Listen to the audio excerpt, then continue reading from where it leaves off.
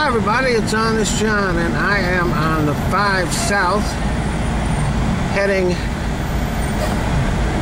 out of Los Angeles to do a gig.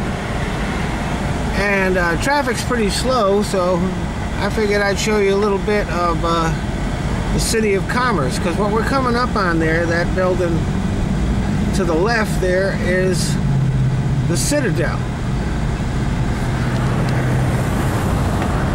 It was once a, a fort, now it's a shopping center.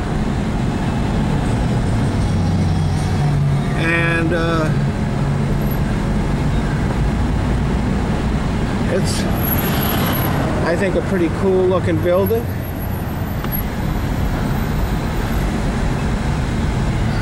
And uh, it's interesting. Uh, commerce that's the name of the city. That's they're basically telling you, look, we're here to buy and sell shit.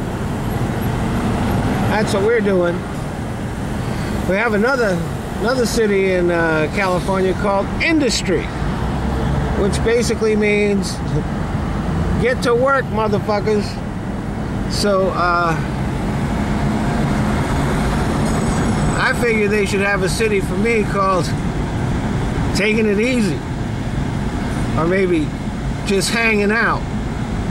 That would suit my style a little more. That's why I live in LA anyway uh, one last look at the at the Citadel here which again is a very cool building. All right